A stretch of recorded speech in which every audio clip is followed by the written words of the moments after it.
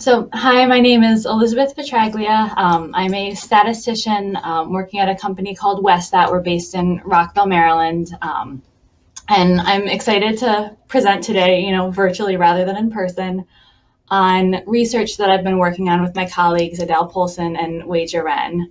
Um, so we've been looking at findings from the National Digital Check Form, the first year of data, um, and I'm excited to share some of what we found with you.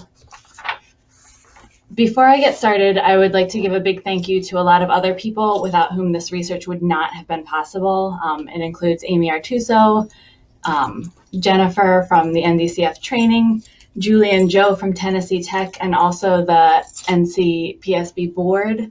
They've all been just an invaluable resource through this process, being very, very patient with our questions and um, giving us a lot of support through the process. So I'd like to thank all of them. Um, I'd also like to give a huge thank you to all the CPSTs who are who have been out there using the digital check form. Um, I'm not a tech myself, but I am certainly in awe of all the work that you do. I've seen my colleagues who are techs recording seat check info while wedged into some weird position in the backseat of a tiny car in the heat, in the cold, in the rain. So um, a huge thank you to all the techs who contributed to this and are really making all of this possible too. So a quick outline of my talk. Um, I'm going to start with a little background on the NDCF for anyone who's not quite familiar with it. Um, and then I'm going to jump into describing what we're calling the year one data set, um, giving some descriptive information on the data, some information about preliminary misuse rates, um, and then kind of a summary of what we've done so far and the future work that we hope to be able to do. So first, for just a little background on the NDCF, um, there are about 43,000 certified techs in the U.S. and historically, um, all car seat checks have been documented using paper forms, which is great to have this data, but it can be very time consuming to extract data or trends from paper. You know, if you have a stack of paper forms, there's no easy way to just look at that stack and see what the misuse rate was over like the past month, for example. So the NDCF was developed in part to address this and also to take, take advantage of some of the other benefits of online data collection. So it's a free resource for all currently certified techs. There are web-based or mobile versions available, plus a backup paper form. So you can use the paper form. The apps are also designed to work even without internet access and information can be uploaded later. The NDCF is designed to help streamline the inspection process too by automatically skipping items that aren't relevant. So if you're checking a booster seat, it will automatically skip all the harness related questions. It has built-in links to useful information, so it will provide recall info at the correct time. So instead of you know having to go separately look it up, it's right there. Um, and because all the data collected through the NDCF use a consistent set of questions, it's becomes easier to compare data across programs and across time.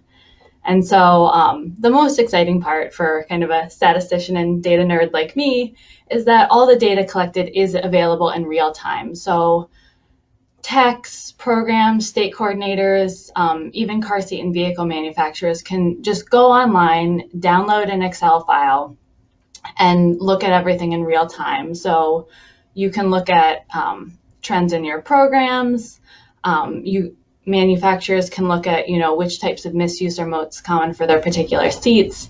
So this is um, a really unique um, and innovative system with a lot of potential for allowing much more data-driven decisions on things like program development, outreach efforts, and um, product design. So given my time limit, I'm not going to spend a lot more time talking about the NDCF, but I did want to provide some information for people who are um, interested in learning more. So at carseatcheckform.org, there's a ton of useful information. Um, there are email addresses if you have any questions, how-to guides and videos. So, you know, it's, it's all there. So please um, take a look if you're interested. So now we get to get into, again, what's the most exciting part for me, um, the data.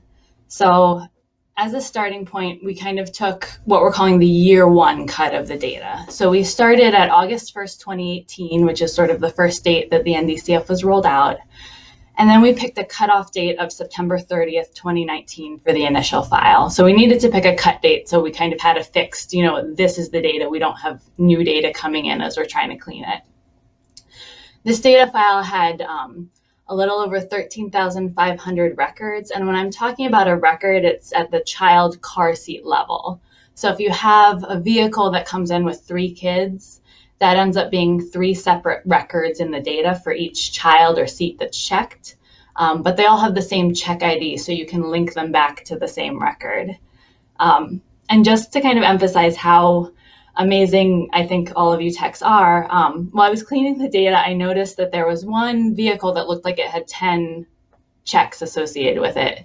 My first thought was this absolutely can't be right. There's no way anyone's checking 10 seats in the same vehicle. Um, and sure enough, I went and looked and it looked like there was some, you know, really dedicated team of techs who managed to check basically a fully loaded 14 passenger van. So these are, um, you know, while I'm reporting on kind of overall trends and things like that right now, these are the kind of really cool details that you can find um, in the data that are also um, interesting as well. So in total, we have a little over 11,000 vehicles in this first um, data set. And one last thing that I want to mention to anyone who's currently working with NDCF data is that we found um, about 300 records in the data that were um, training records or otherwise kind of like test demo, you know, bad records that you don't want to keep in the data. And some of them are were actually flagged as training, but others took a lot more work to find. You know, you'd go through a whole record and then you'd see in the documentation box someone wrote, "Oh, this is a training record," or "Please delete," or "Test record," or something like that. So just something to be aware of if you're working through the data file at the moment. Um, make sure to check those kinds of things. And um, so, speaking of our um, super techs, we also have some NDCF super users out there, which you can kind of see from this map. So this map shows the number of checks recorded in the NDCF by the state of the event. Um, and the darker red corresponds to states with more checks. So of the about 13,500 checks we have in this year one data set, um, about 7,500 of them are from Indiana alone. So Indiana you guys are doing great. Um, Colorado also has about 2,000 records. Vermont has a little over 1,000. Um, Maryland has a little over 500. So most of the checks in the data set that I'm describing today come from those four states. However, this comes with the caveat that we know that since we kind of did our cutoff in September 2019, the NDCF is being much more widely used, and most of these states that are in these really light colors with few checks right now will have much more by the time we kind of do our, you know, hopefully year two work. So this is changing. I just want to make sure that it's clear, you know, the data I'm presenting today that I have available today, these are the states where it's coming from if I get the chance to give an update, hopefully in person next year, hopefully we'll see a map with a lot more darker colors and nearly all states with some data. So like I said, while I'm presenting these results, it's important to keep in mind that um, the results are only from the data that we have in the NDCF year one. So we're not representing all states in the US at this point. We have lots of data from our power users, but are not representing some states. The other thing I want to make sure to be clear is that um, this is our preliminary cleaning only. So, you know, we're kind of 90, 95% of the way through having a clean final data set. Um, that said, I am giving some numbers in the next few slides.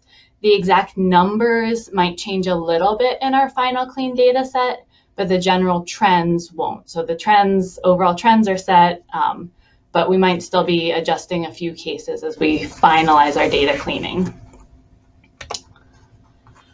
So first, what kinds of seats are coming into these checks? Um, so you can see, um, and experienced techs are probably not surprised at all to see this, that most of the seats coming into these checks are rear facing only seats. So we've got about 47% of the seats checked are rear facing only seats.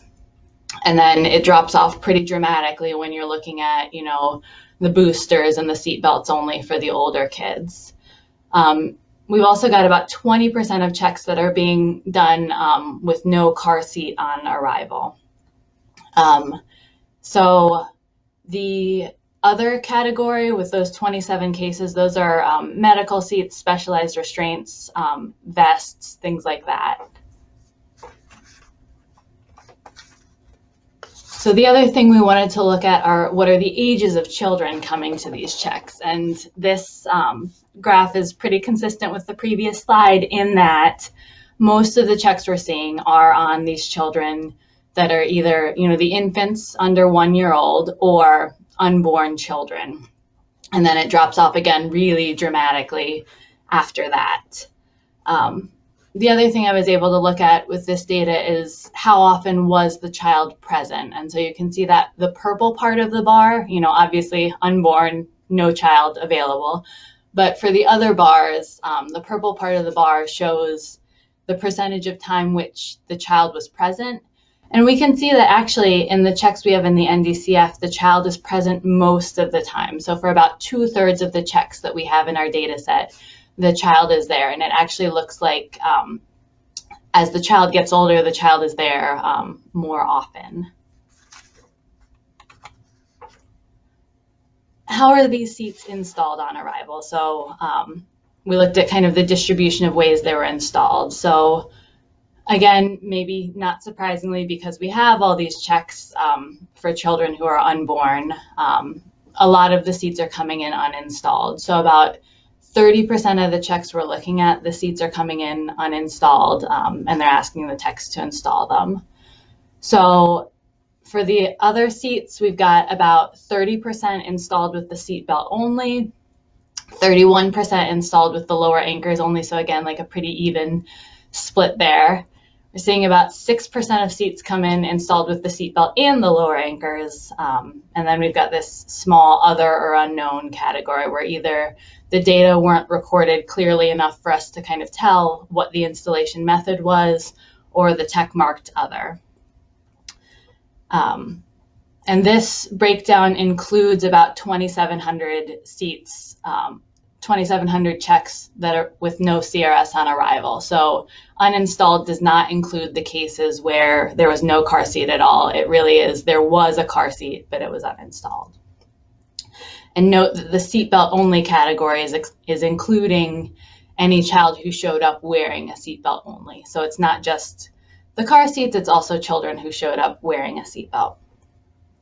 The other um, thing, because it's you know kind of a hot topic is um, looking at top tether usage. So, how often with seats that have a top tether available, how often is that top tether being used? So, if we looked at only um, forward facing seats with a harness, which should be the ones with a top tether, um, we saw that only about 28% of those seats came in using the top tether. So, obviously, that's um, lower than we'd like to see, but still kind of interesting to see the trend in the data. So um, this slide is kind of short, but it actually represents a lot of the work we've done um, in the data cleaning. So if you can imagine, um, the car seat manufacturers and the vehicle manufacturers are open text fields um, in the in the form. So, um, you know, to type in a vehicle name or a car seat name or um, you know anything you have to enter on a tiny screen while you're probably in the back seat of a car um, is is difficult to do, and there are different spellings and there are typos and um, a lot of things that needed to get cleaned up so we could kind of um, generate these frequencies. So after a ton of cleaning and our um, awesome research assistant spending hours probably wanting to pull her hair out, we were finally able to get a manufacturer, um, clean manufacturer for each seat and a um, vehicle manufacturer for each vehicle. So when we did that, um, we kind of found, you know, what are some of the bigger car seat manufacturers in the data. So some of the bigger manufacturers like Graco, Evenflo, Chicco already have um, you know, over a thousand, and in the case of Graco, about 3,400 records in the data set. So there's, you know, again, this is year one data. It's going to continue to grow, but there are already thousands of records out there for some of these more popular manufacturers. Same thing with the vehicle manufacturers. Um, once we kind of got the data cleaned, and again, I'm giving an approximate number here because we're sort of still going through the cleaning process with a few of the trickier records. Um, some of the more popular vehicle manufacturers already have between one and 2,000 records. So again, and this is going to continue to grow and grow as we get more data, hopefully. So this amount of data should allow manufacturers who are interested to look at some of the trends in the data and see how some of these features are being used in the real world or misused and potentially, hopefully, informing future design decisions. So now we kind of get to the um, kind of more exciting part, you know, instead of just descriptive statistics, let's actually look at some misuse rates. So the first thing we looked at was harness misuse. So if we're only looking at seats with a harness, um, what you know, what types of misuse are we seeing, and how much misuse are we seeing? So overall, we see a harness misuse rate of about 19% of all seats that are coming in with a harness. Um, and these harness errors include the harness being twisted, the harness too loose, not clipped, chest clip not clipped, chest clip at wrong level, harness in wrong slot, buckle errors, um, harness damaged, harness altered, or anything else um, harness related you can think of. You can see the rate is, the misuse rate is different by seat type. So for um, forward facing seats with a harness, the misuse rate is about 32%. Um, for the rear facing convertible or rear facing with a base, it's a bit lower. So it's um, 14 to 19% for those two. So the rear facing without base rate um, is also pretty high at um, just over 40%. But um, I do want to point out that, that that we don't see a ton of checks with those seats. So that's kind of a smaller group than the other ones. Um, uh, looking at the most common harness errors we're seeing in the state, and the most common error, um, which again may not be surprising, is um, a harness that's too loose, followed by having the harness in the wrong slot, and then finally having the chest clip at the wrong height.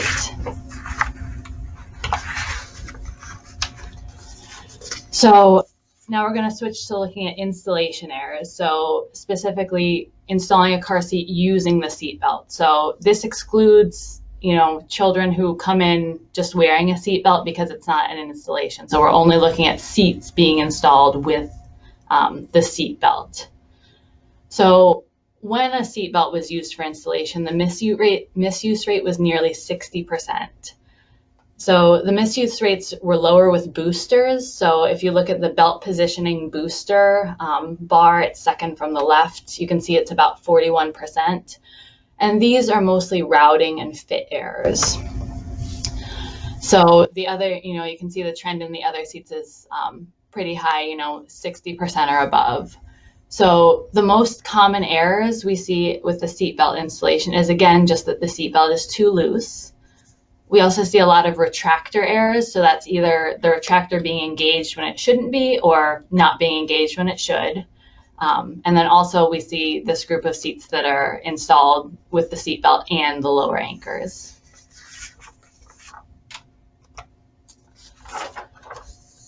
Finally, I'm going to look at um, we're going to look at lower anchor installation misuse. So this misuse rate is a little lower at about um, 45%. So this plot is only showing the four most common car seats um, where lower anchors are used for the installation. So again, we see the misuse rate is actually a little higher for forward-facing seats. It's about 54% and a little lower for installing the base only for a rear-facing seat with base. Um, again, we kind of see the same theme. The most common error by far is just having the installation be too loose, um, followed by using the lower anchor with the seat belt. And then the third most common category is um, incorrect use of vehicle anchors, which includes things like borrowing lower anchors from other seating positions. Um, and this actually kind of feeds in nicely to um, Julie's talk um, because part of her, you know, part of her research is all about, um, you know, using those more widely spaced lower anchors. So we can see it's pretty common in the data, um, and she's going to give you more information about kind of the impacts of some of this. So to summarize, um, a lot of the trends we're seeing in the year one data are, are sort of as expected. So they seem to follow the same patterns that in talking to my colleagues who are techs, you know, they're saying these are the things that we're seeing. We're seeing lots of infant checks, we're seeing fewer older children. Um, everything's always too loose. Harness is too loose, installation is too loose. Um, so, you know, kind of from a does this make sense point of view, the NDCF data seems to be reflecting what's actually being observed out there in the field. It's important to remember that these data, again, only represent checks recorded as of September 30th, 2019. So we know there's already more data in there, and the more checks um, that are recorded, the better data we'll be able to have. So um, our data set will continue to grow. And again, I want to say thank you to everybody who's using it and contributing to it because every contribution to this effort will make more interesting and exciting um, analysis and data, you know, going forward. So if you are not an NDCF user and would like to know more, um, again, I have all the resources for that on slide five. Just a quick summary of our future work. So this year we were just doing baseline cleaning and analysis. We are planning um, to make the clean data set available for users. So all of our hard work in getting the data really clean and user friendly um, you know, that should be available for users soon. Um, we're also going to provide some data visualizations, graphics, um, ways to kind of easily understand the information that's in this data set. Moving forward to what we're sort of calling year two, so sort of the next step, we want to do some more sophisticated and detailed analyses, including um, hopefully being able to weight by census data to produce some analyses that are weighted by population, so reflect not just the population coming to checks, but are, you know, we can say after weighting they're representative of the population of, of children as a whole. So thank you all for, um, you know, I guess tuning in virtually. Um, because this was not in person and because there was no opportunity to ask questions, please, please, please feel free to reach out to me. My um, email address is there. Um, and I am happy to, you know, answer any questions or talk further about any of this research. Thank you very much.